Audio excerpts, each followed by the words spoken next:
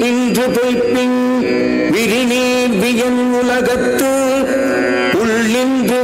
உடற்றும் பசி மழை பெய்யாமல்